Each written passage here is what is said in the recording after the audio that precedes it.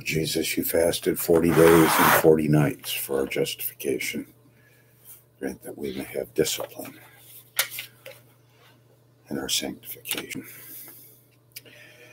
The second internal criterion, first was consistency, is coherence. It's not sufficient for symbols in a system merely to be consistent.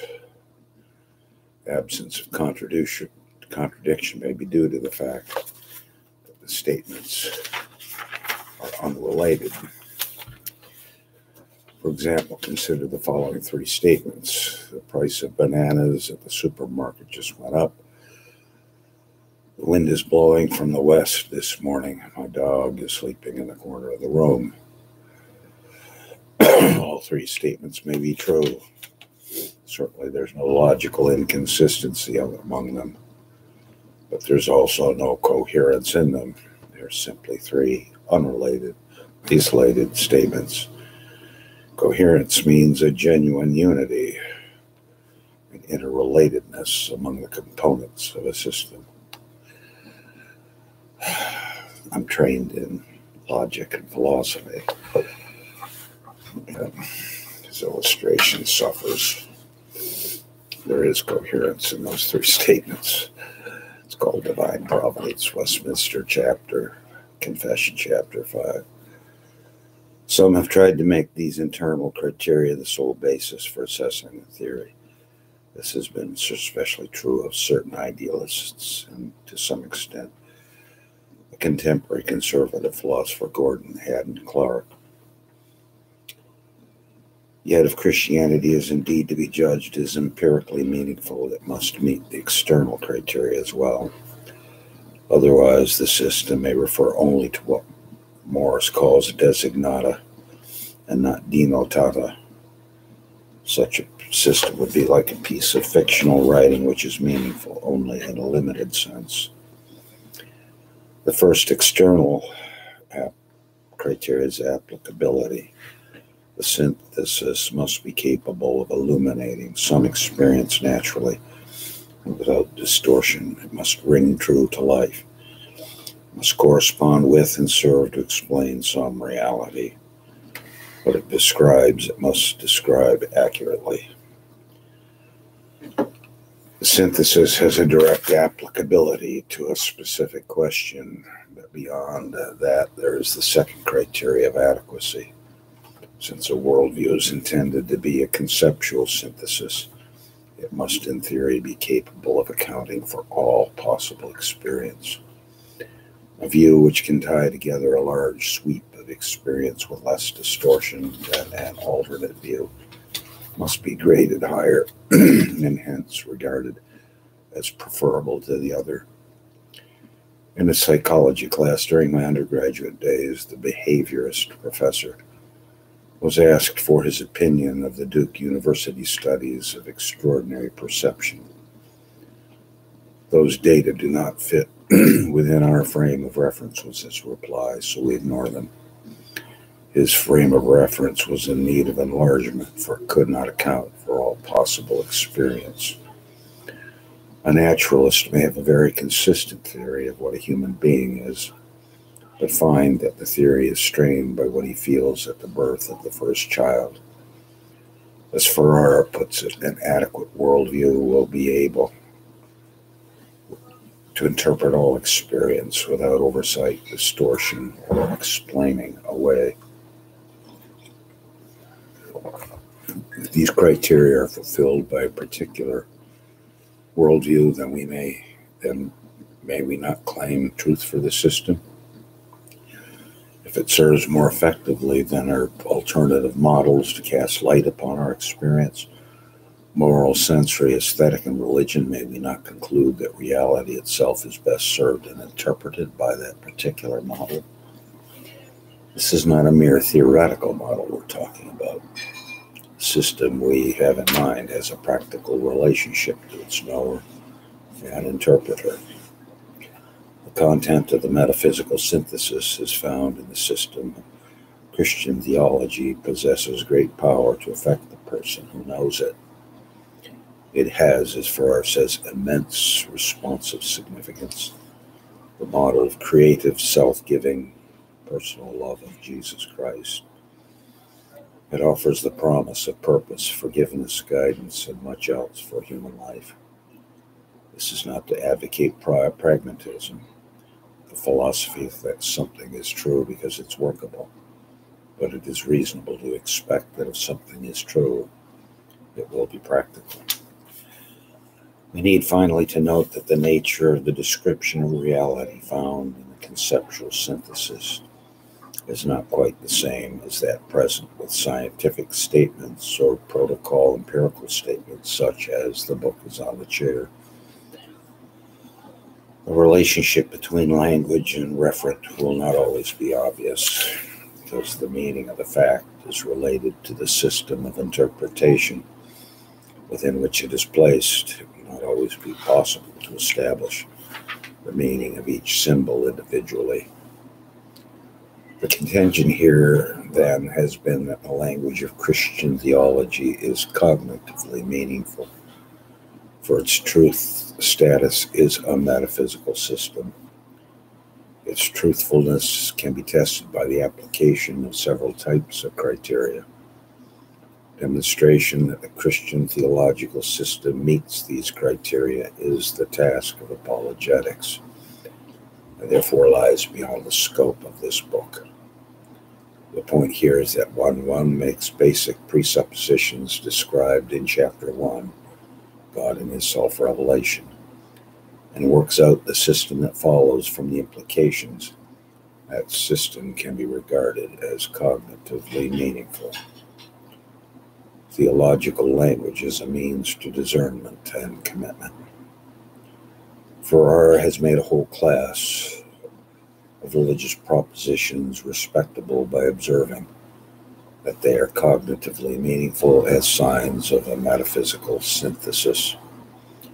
But the problem of the meaning of individual religious propositions remains. While the meaning of these propositions depends upon their relationship to the system as a whole, there is still the problem of how to respond. Fideism says that we must accept certain tenets of faith. And if we cannot understand those tenets, we cannot know what it is that we are to accept on faith. Ian Ramsey notes that religious language is not a set of labels for a group of hard objective fa- facts whose complete meaning can be immediately perceived by the passive observers.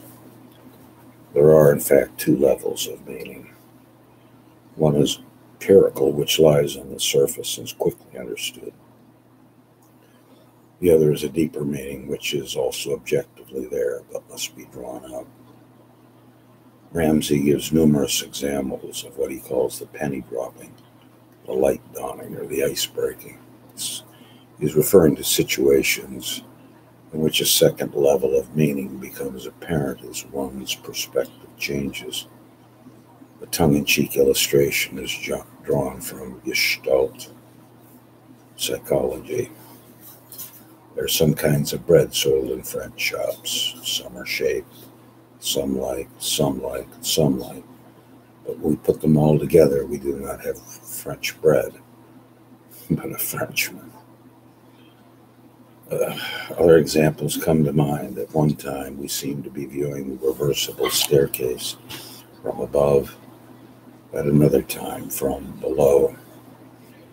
When we see it one way, the other perspective is not evident, but it is also objectively there.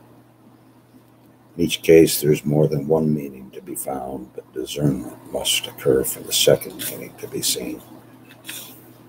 It is not obvious to everyone anyone who's attempted to teach mathematics to elementary school children knows that a process of discernment must take place, although truth is objectively present. Another example is the experience of viewing a mosaic at a very close range and seeing only the individual pieces and stepping back and seeing the overall pattern.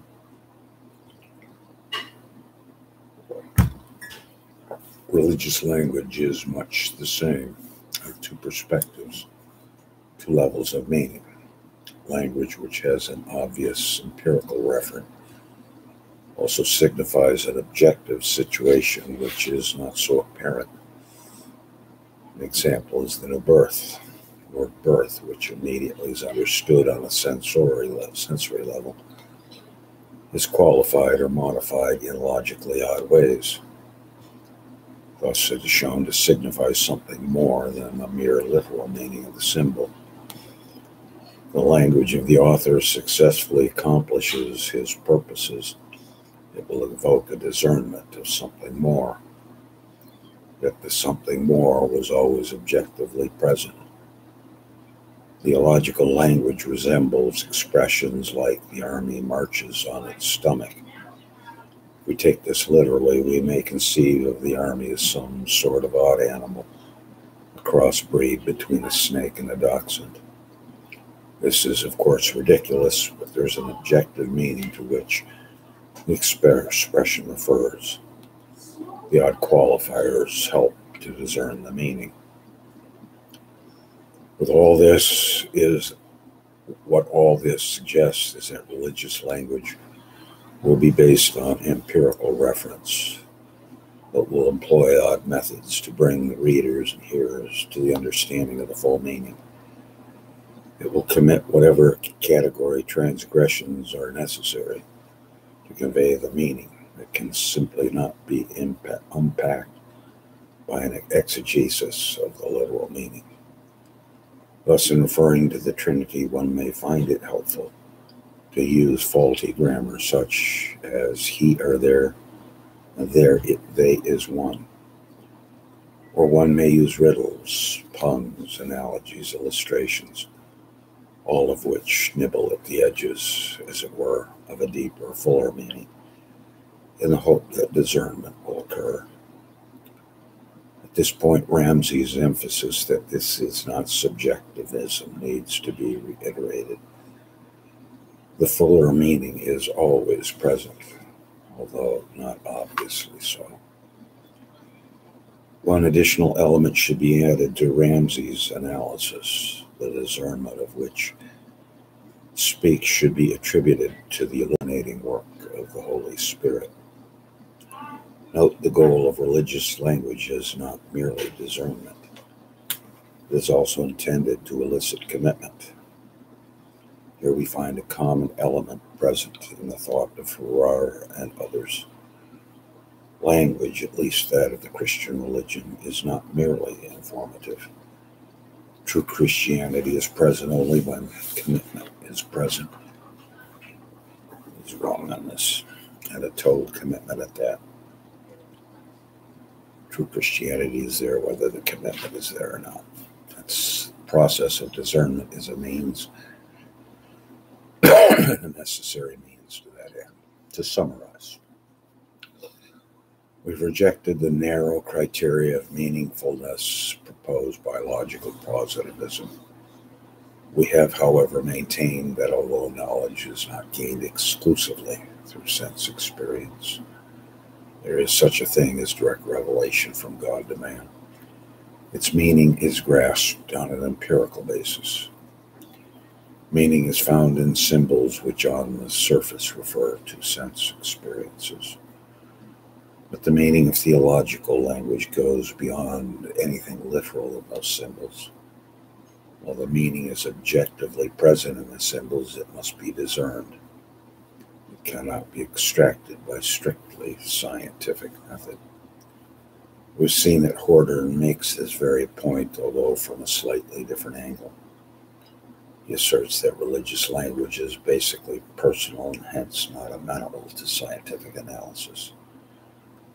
And yet, as Farrar has shown, the propositions of religious language are cognitively meaningful, not as isolated statements of facts concerning sense experience, but as parts of a broad metaphysical synthesis. And here we end that chapter.